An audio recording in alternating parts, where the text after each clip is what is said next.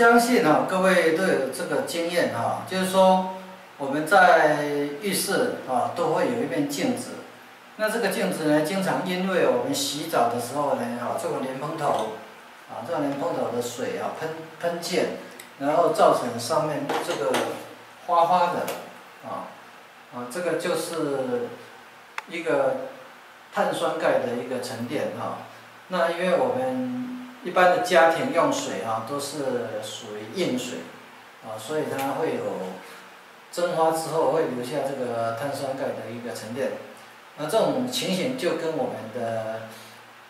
热水啊、热水壶啊一样，啊，如果你你有这个热水壶的话，你就经常发现这个热水壶里面的会有一个水垢存在啊，那这种东西就跟水垢很类似。那你如果热水壶有这个这个水垢的时候呢，你都会用这个柠檬酸啊来做一个这个清洁。那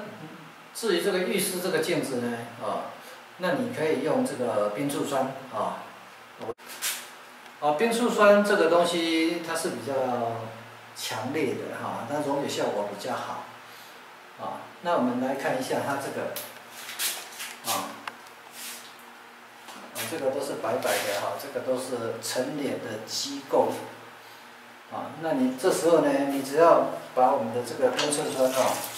倒在我们这个菜瓜布啊，那因为冰醋酸呢，它很呛鼻啊，所以说你如果在浴室使用的时候，最好用个电风扇哈，稍微啊稍微做个啊通风一下会比较好。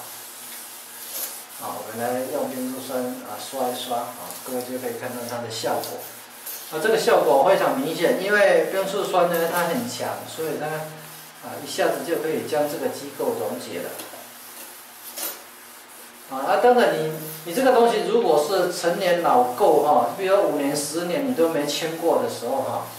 啊那那这样的话就可能还要让它这个。一点时间哈，去把它溶解下来，啊，啊，那各位可以看到啊，这个右手边的这个，我右手边的这个已经刷过了，这边没刷过的，那我们用这个清水哈，把这个，啊，把那个变醋酸把它弄掉。